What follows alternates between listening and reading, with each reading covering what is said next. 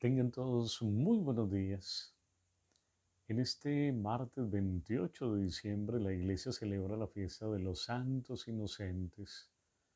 Le pedimos a Dios para que bendiga nuestra vida, nuestra familia, nuestros amigos, ilumina a todos los enfermos y conceda siempre la alegría a aquellos que te buscan con sincero corazón. Comendamos a la Policía Nacional. Vamos a reflexionar en esa mañana el Evangelio de San Mateo capítulo 2 versículos 13 y siguientes.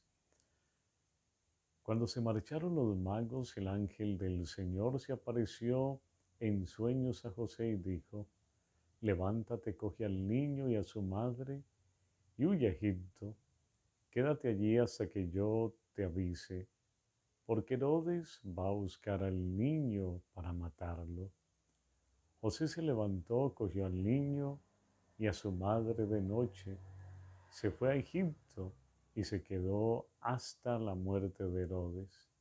Así se cumplió lo que dijo el Señor por medio del profeta. Llamé a mi hijo para que saliera de Egipto. Al verse burlado por los magos, Herodes montó en cólera y mandó matar a todos los niños menores de dos años. Para abajo en Belén y alrededores, calculando el tiempo por el que se había averiguado de los magos. Entonces se cumplió el oráculo del profeta Jeremías. Un grito se oye en Ramá, llanto y lamentos grandes.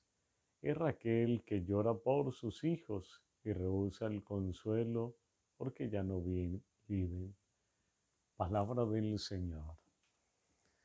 Muy queridos hermanos, Herodes, porque pensaba que lo iban a destronar, manda matar a todos los niños menores de dos años a causa del Salvador. Por eso en este día mueren muchos inocentes. Y es así como la iglesia celebra la fiesta de los santos, de esos niños que mueren inocentes por amor al Señor.